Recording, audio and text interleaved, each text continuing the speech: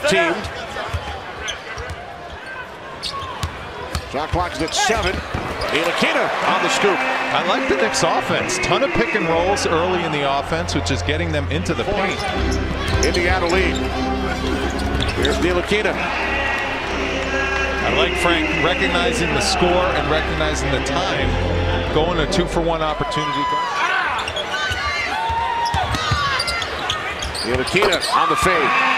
That was a good job of Frank using his size. He's got a big size advantage over TJ McConnell.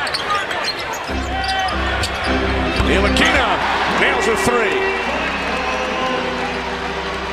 Knicks back to within 12. Got to make those shots. Barrett back out. Good ball movement by the Knicks. Corner three. Frank Ntilikina. And the Knicks have pulled to within eight. Good ball movement. And look at Bobby Portis, the catalyst, making the right pass to Frank. The building's starting to get energized. Ntilikina hits a pair. Back to a six-point game.